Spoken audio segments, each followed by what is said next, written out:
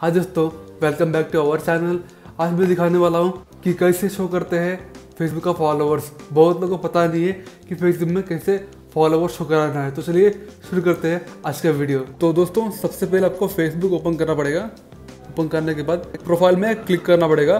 Profile में आप देख सकते हो, इसमें अभी फॉलोअर शो नहीं कर रहा है। तो चलिए आपको दिखाता हूँ कैसे एक्टिव करना है फॉलोअर्स फॉलोअर बनाने के लिए आपको फ्रेंड रिक्वेस्ट जो है, बहुत सारा आना पड़ेगा। आपको इधर थ्री डॉट दिख रहा है, यहाँ पे क्लिक करना है। उसके बाद नीचे आना है setting and privacy and settings तो दोस्तों स्क्रॉल डाउन करना है।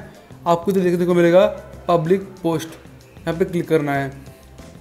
आपको देख सकते हो, अगर आप 18 प्लस हो, तभी आपका जो फॉलोवर है वो शो करेगा ना तो शो नहीं करेगा।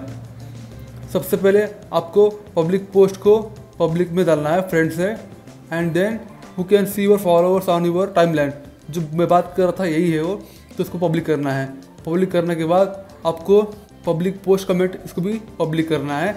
And then who can post notification public notification को भी ऑन करना है। And then go down public information जो है, इसको भी ऑन करना है।